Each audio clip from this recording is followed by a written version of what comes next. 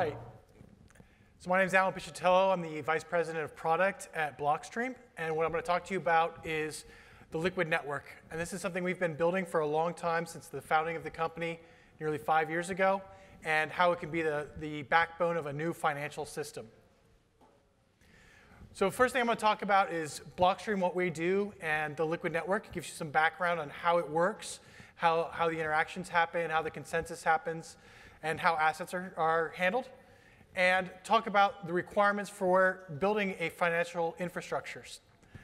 We're going to talk about as well why Bitcoin is special. Uh, one thing you may know about Blockstream is that we are a very Bitcoin centric company. We're not in the blockchain space, we're very focused on uh, Bitcoin success. We do think that's an important differentiator that will be uh, available for Liquid. So we're going to talk then about why Liquid is well suited for that and the pieces left to build to, in order to build that new financial system. All right, so at Blockstream, we work on a lot of different projects, uh, mostly all focused around Bitcoin.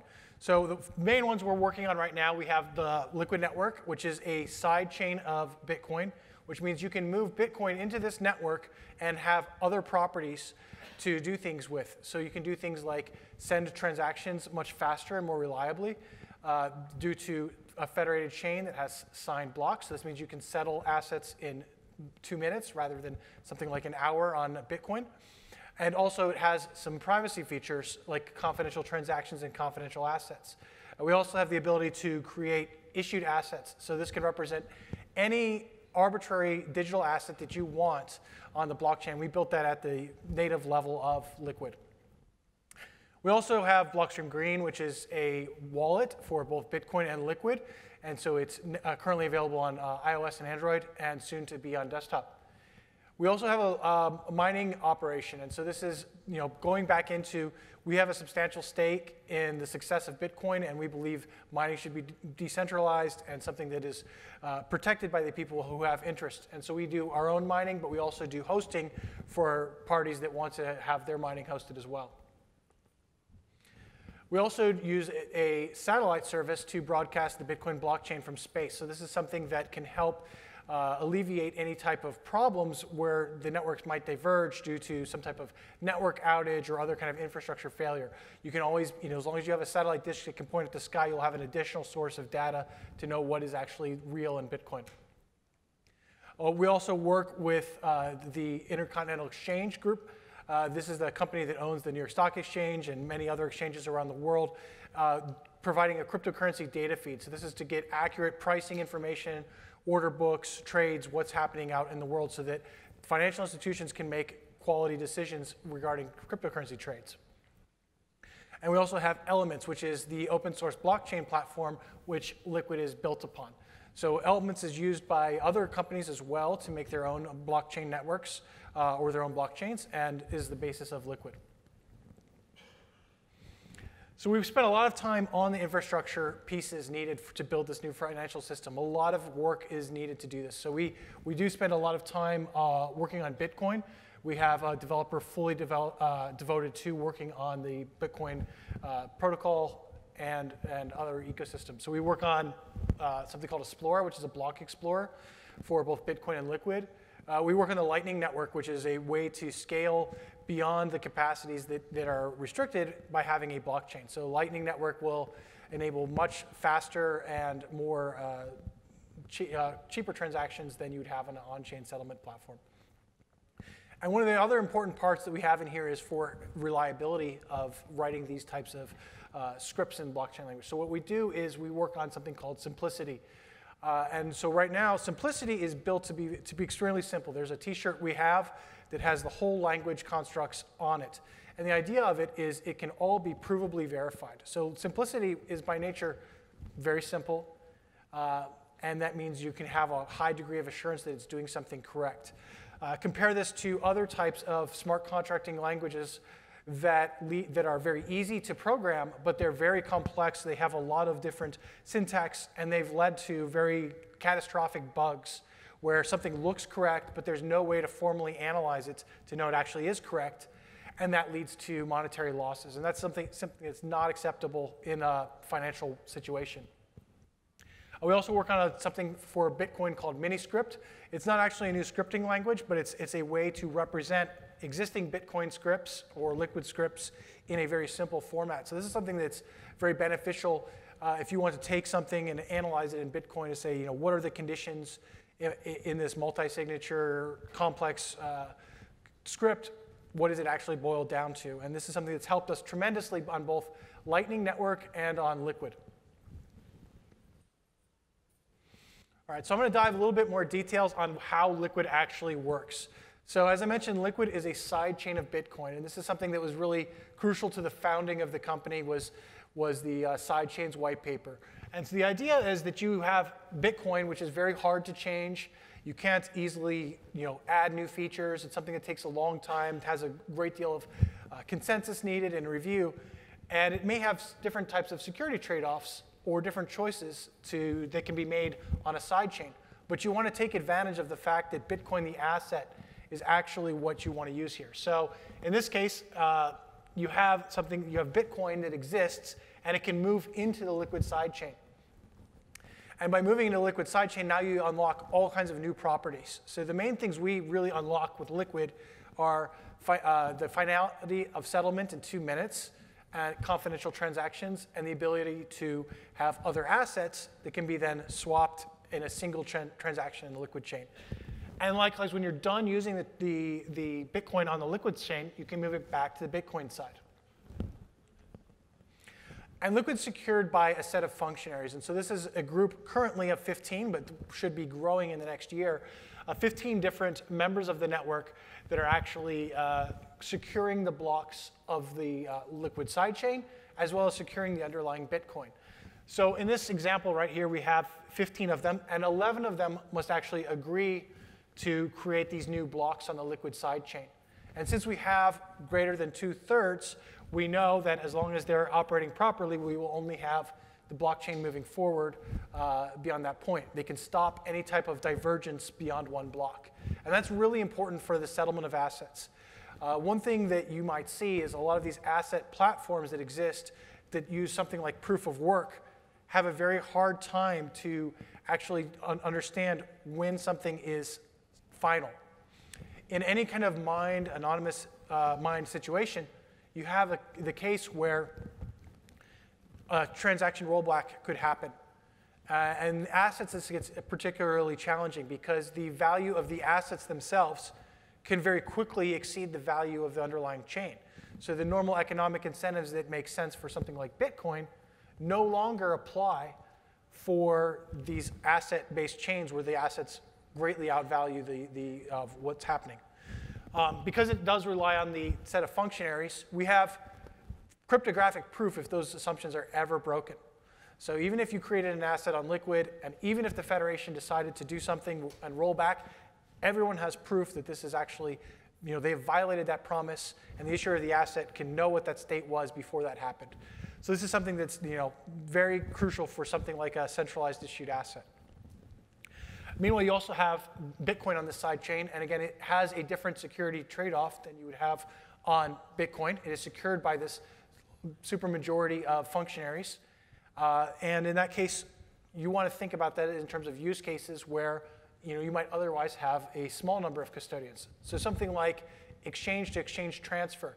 If I'm a trader and I'm trying to use one exchange, and I'm trying to send money to another exchange, well, I've already trusted one exchange with all of my access to the funds. Whereas with Liquid, I'm expanding that set out to an 11 out of 15, which is going to be much more secure for those types of applications.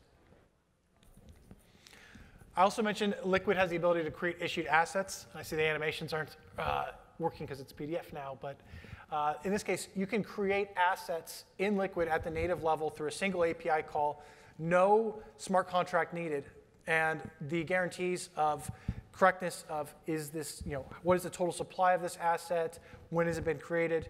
Uh, you can use this to do represent things like uh, security tokens, stable coins, uh, uh, and other digital assets. So this is something that, that is built in. You don't have to create a smart contract.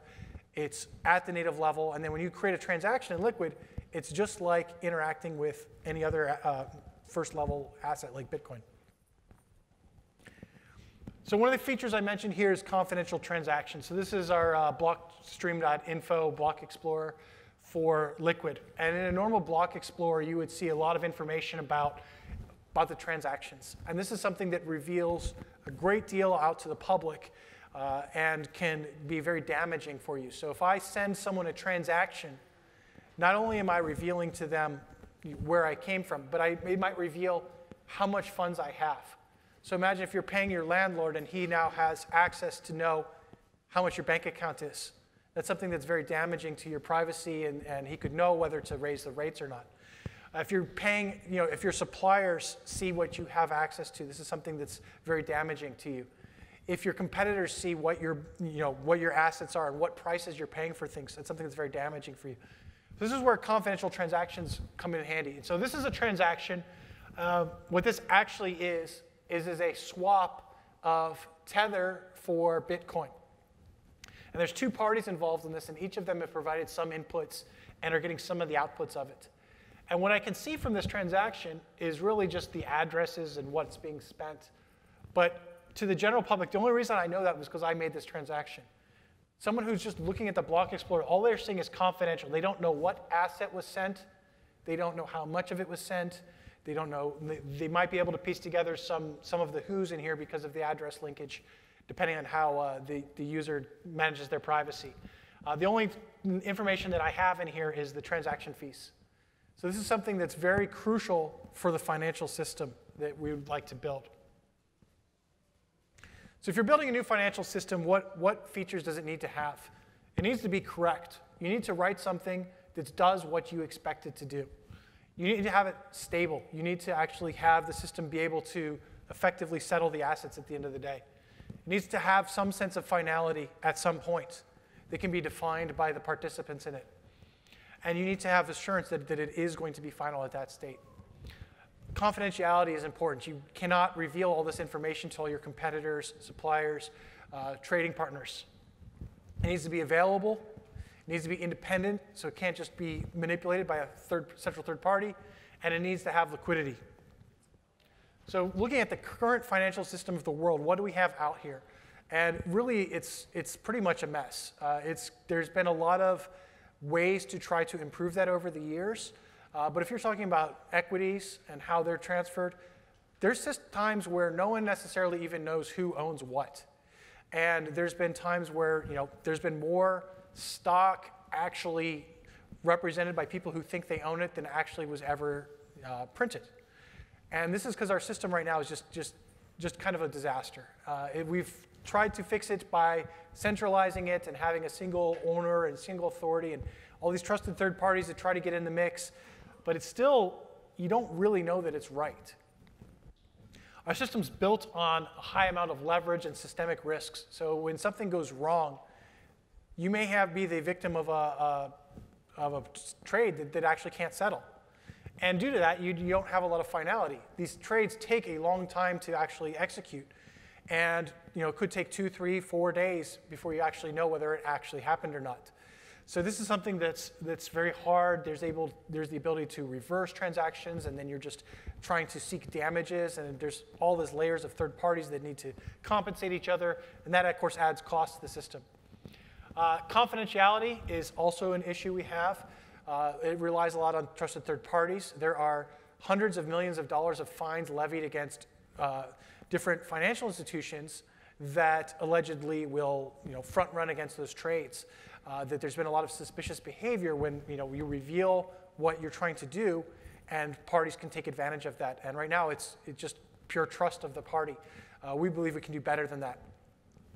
There's limited availability for trading. Uh, this is only you know certain market hours that they're even available. Uh, there's centralized authorities that actually can control and manipulate everything from the whole money supply, from being able to manipulate and uh, assets, this is all something that is uh, you know, very controlled and centralized right now. Now, the one advantage I would say that the current system does have is it's based on uh, high liquidity currencies like the USD. Uh, so this is something where you, know, you do have a very liquid market, and we're not quite there yet. So why do we think Bitcoin is special? Why do we build this whole company on Bitcoin? Um, you know, everyone else is here is talking about blockchain and just in general. We think Bitcoin is the most special part of uh, the innovation of blockchain. So why does it really matter? We require sound money to settle. You need something with a high amount of liquidity. As for cryptocurrencies, Bitcoin is you know, far ahead of anyone else there. It requires few trusted third parties. There's no foundation for Bitcoin in control. There's no uh, developers that, that really have control of this asset. And that it holds value over time. And something, you know, we're celebrating Bitcoin's 11th birthday of the white paper uh, yesterday. It's existed for a long time. It's held its value. It's stood the test of time. Uh, and it really has, you know, starting to get that attention and, and growth. It's internationally and politically neutral. So this is something where in the, the global financial system, just relying on a single jurisdiction is, is not a recipe for success. You need something that is bigger than, than a single country. Uh, it's resistant to takeovers. We've had uh, numerous attempts over the past few years in Bitcoin where you know, different people wanted to implement different changes or control on it, and those attempts really have failed. But it still has remained uh, able to evolve over time through a slow pet, uh, process of improvements. And eventually, the goal would be for ossification, that Bitcoin just becomes so solid, so unchangeable, that it's just locked in, it has all the features that anyone else needs. So that's, that's eventually the goal, and we think that at that point, Bitcoin could be the best asset in the world for settlement. So looking at how does liquid stand up in this chart that I showed you for the current system. So correctness. Uh, we focus right now on the Bitcoin scripting, which is much simpler than a lot of the existing smart contracts out there. And the reason is it's very simple, it's very easy to know what's going on, you can verify that it's correct, you shouldn't get any unexpected behavior.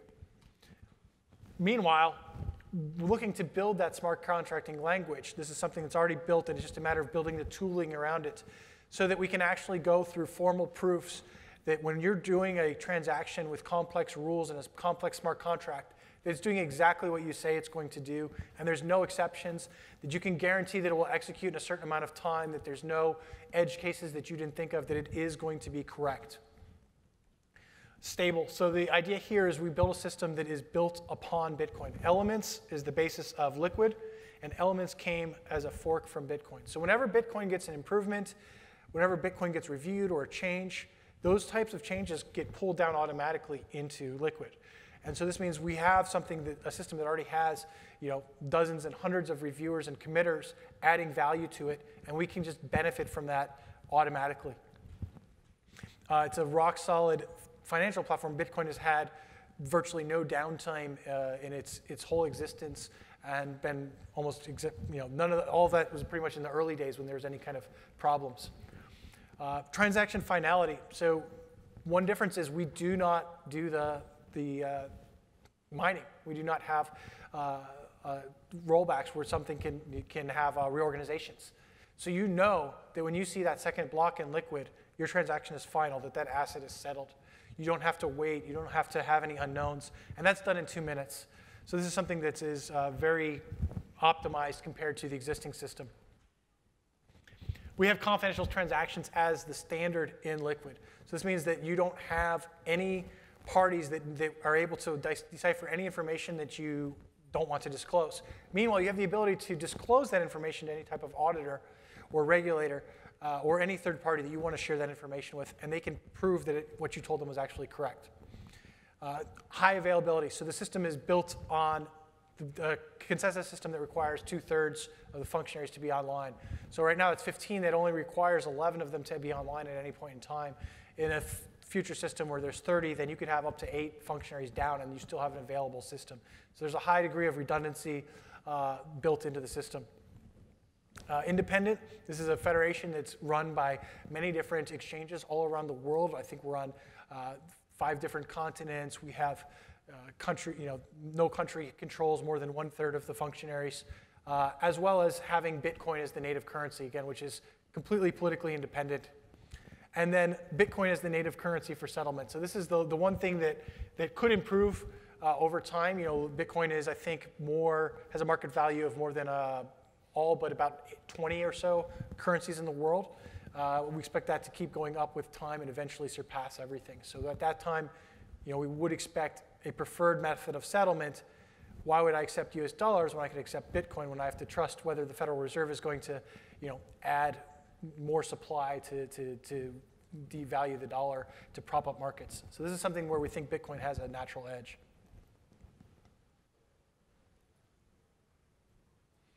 All right, so we still have a lot to build left in Liquid. Uh, so one of the things that we want to do, I mentioned that we have a federation of 15. We have the ability currently with Liquid, uh, with Bitcoin scripting to go up into the about 50 range. Uh, but what really we want to do is be able to have that federation grow to hundreds of parties. So every major trading financial institution will have a seat at the table and be running this network. That's going to lead to a great deal of redundancy. That's going to lead to a great deal of independence in the system. Uh, to do this, there's already changes being made in Bitcoin to handle this. So Schnorr signatures, Taproot, as well as uh, signature improvements in Bitcoin. This is something that we can uh, do to uh, improve the size of the federation. We want to have powerful but secure smart contracts. So simplicity is something that exists. It already uh, you know, has been written. There's already tools started for it, but actually linking that into liquid and elements. So that's something that we're actually uh, we've got uh, our first example of that that will be ready in the next few weeks, and we'll be publishing that. So that will be an exciting development to show that we can move forward with smart contracts with even more power in uh, Liquid while maintaining that security. We want to be able to optimize transactions. So right now there's a lot of information to hide, you know, to, to be able to handle the proofs for the, the uh, confidential transactions. So we want to improve this through something called bullet proofs. Uh, and then increase throughput of the network. You know, one thing we have learned, I think even in the last talk, blockchains don't really scale very well. You don't want to have everything dependent on that base level, level of settlement. So this is something where Lightning Network comes in handy. And again, this comes back to our philosophy of building on Bitcoin. If we build on Bitcoin, we can get all of the benefits and all the ecosystem that's being created for it. So something like Lightning Network, we've already built it on Liquid for Liquid Bitcoin uh, but the ability to extend that for other assets as well. So think about if you have a stable coin, you have something like Tether, you don't want to necessarily have to send an on-chain transaction for that to just buy coffee. But if you had something with Lightning Network, you could make hundreds or thousands of transactions for the same cost at, at nearly instant, uh, instant uh, settlement. So that's, that's the last slide on this. Is there any questions in the last two minutes we have?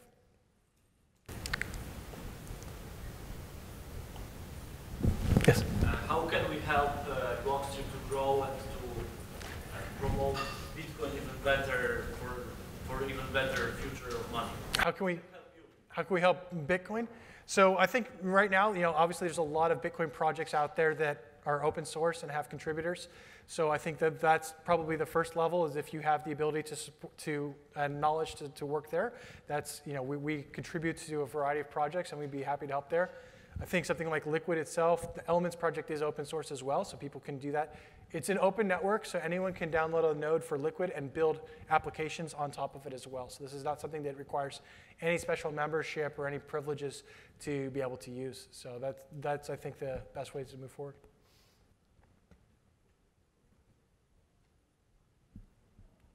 Yes? How easy is to issue an asset on Liquid? And is there any type of holding required for you guys? Yeah. No, it's, it's, it's, it's a simple one API call. So you can just call an, uh, an API that says issue asset. How many do I want to issue?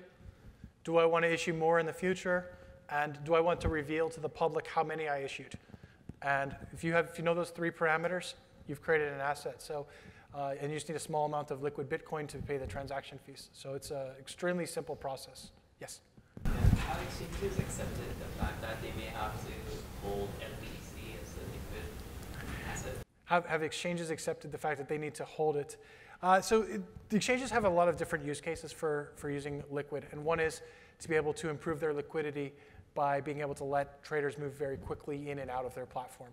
Uh, so this is something where you know it will grow with time with usage. So there's you know we've seen a growth of the amount of liquid Bitcoin in the network uh, over time. We expect that to keep growing as there's more adoption.